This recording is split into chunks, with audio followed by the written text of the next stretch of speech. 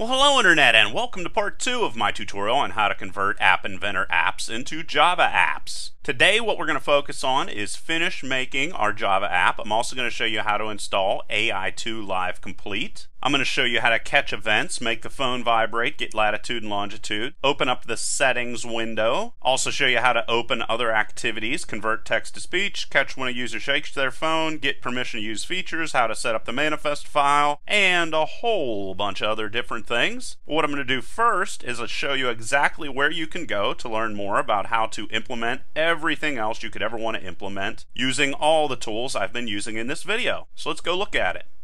Okay, so here is the API. You can go to 3nportal.com forward slash bridge API. I'll have a link in the description. And here you're going to find everything. This is how I learned how to put all this together. So if you want to learn about the accelerometer and the different functions available, just click on that, come over here, and you can see all of the different things you're going to be able to do with the accelerometer and it's pretty easy to learn. Like I said, it's just basically the same thing that I've been covering in this tutorial. So now let's jump over and finish our app. Okay, so here is all of the blocks. And basically what I'm going to need to do is catch all of the different events. I showed you previously how to trigger the events. This time I'm going to catch them all and make them all work. Very first thing we're going to do is handle the zombie button click. And whenever it's clicked, we are going to have everything vibrate or have the phone vibrate anyway. Then we're going to check if the provider has GPS capabilities. If not, we're going to send them to the settings window where they're going to be able to turn those on. And then we're going to open up a notifier window, of course, if they do not have GPS set up. And we're then going to get the latitude and longitude and then use text to speech like you have right here to speak out everything. So let's go back into Eclipse. Okay, so here I am inside of Eclipse, and basically what we're going to need to do here is come in and make this thing right here work. Event dispatcher. We are going to have to create a method or a function called dispatch event that's going to handle all of these events for us. And this is actually pretty easy to set up. All we're going to do is right click inside of the little window and then go to source and then we're going to go to override implement methods and click on that and this window is going to pop up and inside of form you might have to click that to open it. We're specifically going to look for dispatch event component string object. This guy right here. And we're going to put it after define and hit OK. And it's going to put all that in there for us. And there we go. Then we're going to come in here and we are going to delete this because we're going to handle that in another way. Give ourselves a little bit of space. Then we're going to handle what exactly is going to happen when the zombie button is clicked. So we're going to say if, and we're going to say component. This is how we find out if the button was clicked on. Equals, and then we're going to type in zombie button, which is the name for our button. And then we're going to specifically check to make sure it was a click event that was sent here. We're going to say event name equals, and then inside of here, we're going to type click. And there we go. And the click, of course, is going to come from right here. There's click. There's the word click. That's where that came from. And then zombie button, of course, is what we have up here, right there. Okay, so that's how we handle that event. Now, all the things we want to do whenever the zombie button is clicked on. Well, we want to go in and have the phone vibrate. So, zombie, moan, sound, and then we're going to click that and go vibrate. And we could always come in here and just double click on that. And that's going to open up vibrate. We want to vibrate it for 500 milliseconds. And there we go. And it's done. Next thing we want to do is we want to play the moan sound. So we're going to go zombie moan sound right like this. And then we're just simply going to type in play right like that. And it's done. Now before we want to go and get the latitude and longitude data we want to check if the provider is set up as GPS and to do that, we're going to go GPS, provider name, which we created in the last part of the tutorial, and then we're going to go location, sensor 1 and say hey we want to get the provider name and that's all we need to do and put a semicolon there at the end. Then we want to verify that the provider name that came back was GPS so we're going to say if and then we're going to put a not sign in here or an exclamation point which is basically going to give us the opposite of whatever this was so what we're going to say is GPS provider name check if it equals GPS GPS and if this comes back as true it's going to turn it into false which means that everything inside of here is going to be executed. Put your little bracket there again. Now, if we want to open up a notifier, all we do is go show alert, and then we can type in whatever the message is, enable GPS in settings, right like that. Another thing we could do is actually go and open up the activity settings that are going to allow us to do that. To do that, we just go activity, starter, one, and we define the action that we want to use here. And in this situation, it's going to be Android And in the previous App Inventor tutorial, I actually showed you how to look up all this stuff. I'm to have to zoom out here a little bit. And location, source, settings right like that. Then of course put the semicolon there. And now that we said what we actually want to have open, we just go activity, starter, one, exactly like we do in App Inventor, and start activity. And it already knows which one because we told it. Let's go look over at App Inventor.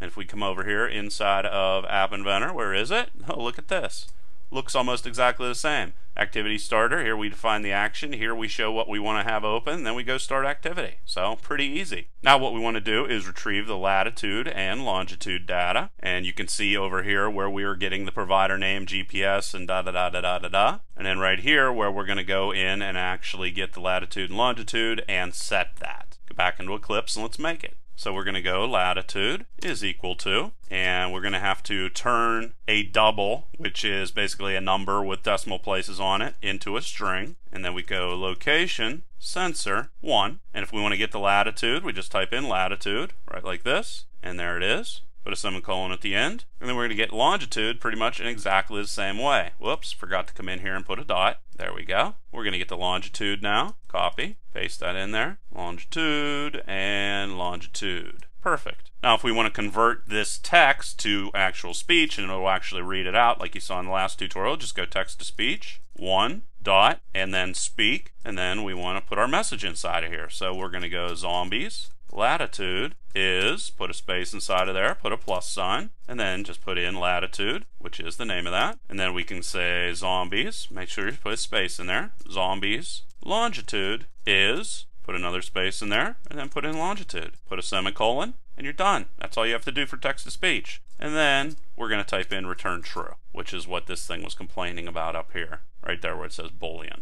Okay? And actually, if you come in here and put your mouse over this, you're going to see add return statement right there. Okay, so that's what's going on. So you have to make sure that you either return a true or a false. Now what we're going to do is we're going to say else, because we have other events we want to catch, if the component equals, and let's catch the accelerometer, sensor 1, and shaking is what we want to catch this time. If we come up here, see, there's shaking right there.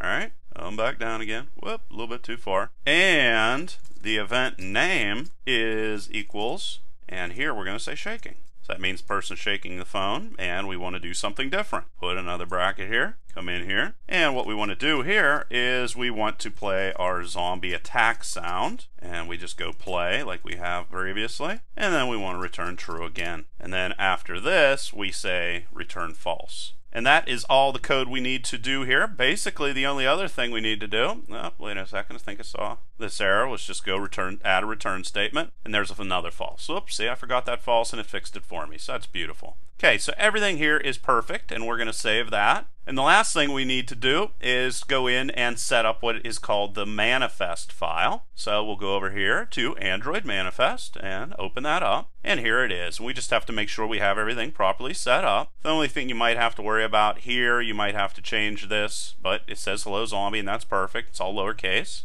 you could actually come in here to the minimum version and lower that to 5 and that's just the Android version you're going to be working with. Then what you're going to need to do is get permission to use both the GPS and vibrate. So why don't you do what I do? Just go into Google and then say permission to use GPS and then type in Android. Perfect. Then I'm going to come in here and I can see right here GPS Android location permissions. Love Stack Overflow. And we're just going to come in here, and I can see right here is the code that I want to get. Just going to select all of it, copy that, jump back over into Eclipse, and then right after, right here, where we set the different versions of Android we want to work, I'm going to paste this in here, access find location, uses permission, and then I'm actually going to put a couple more inside of here. Going to go and type in coarse location, and then I'm going to type in mock location, and these are all the things you could possibly ever need in regards to getting location data. And then I'm also going to type in location extra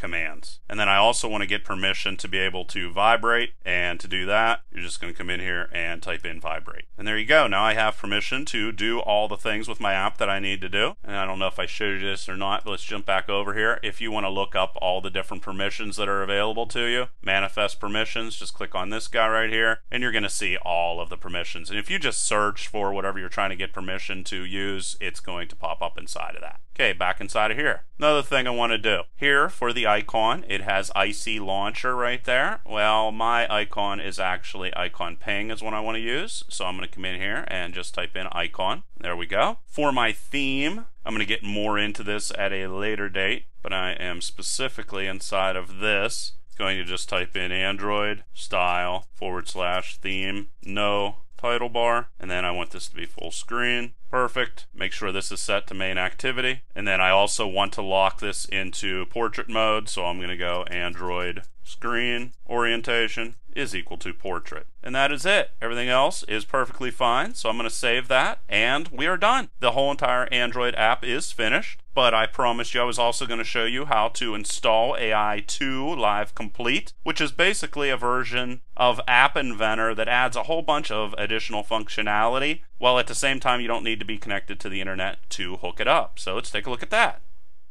Alright, so to install AI2 Live Complete, you're just going to have to go to sourceforge.net forward slash projects, AI Live Complete, files, AI2 Live Complete, da da da da. I have a link in the description. Then you're going to go to files, and then you're going to go to this guy right here and download this zip file, AI2 Live Complete.zip. And then whenever you do, you're going to get the zip file, you're going to open it up. And then if you are on Windows, all you need to do is open up the folder and to start the server, you're going to double click on this inside of the folder. That's going to start the server for you. And then the build server, which actually converts everything into an actual Android app, is this guy right here. You're going to double click on that and open it up. And a window is going to open up, a little terminal window. You have to keep those terminal windows open. If you, however, are on Linux or on a Macintosh, you're going to have to go change directory to wherever you put this file that you just unzip. And if you type in ls then inside of your terminal, you're going to see all of these files right here. You're then going to have to type in change mod and make all the sh files executable. Windows users, by the way, you're done. You don't need to do anything else. You don't have to do any of this stuff. And then after you do that, you just type in dot forward slash start AI server dot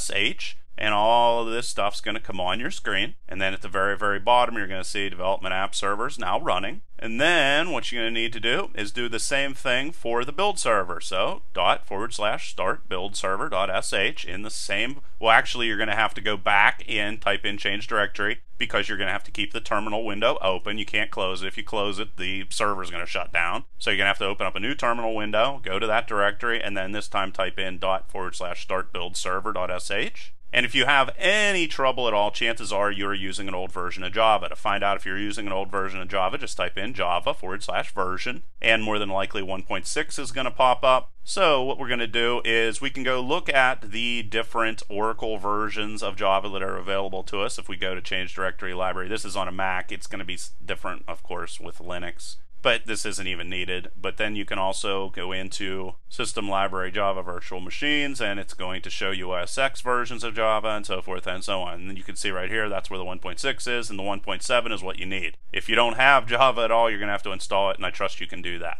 So basically what we need to do is make sure we are running Java 1.7 and not Java 1.6. This is if you get any errors whenever you execute those previous two commands. So what you need to do is go and download Java and install it. And the quick way to switch over to Java 1.7 if you don't want to change it everywhere is to type in export java underscore home equals exactly what you see right here. And then what you're going to do is type in 1.7 right like that. Okay? And then type in Java version. You're going to see 1.7 is the version that's being used and then you can come in and type in dot forward slash start build server dot sh and everything is going to execute. After you do that, you're going to go in your browser to localhost colon 8888 and you can actually see that that location. Well, I don't actually have it here. let's go to the next one. It's actually in the terminal going to show you to go to localhost colon 8888. Then you're going to type in your email address and click on login. And whenever you do, this is what AI2 Live Complete looks like. Okay, so covered a ton of things in the last two tutorials. I hope you guys really enjoyed it. Please leave your questions and comments below. Otherwise, till next time.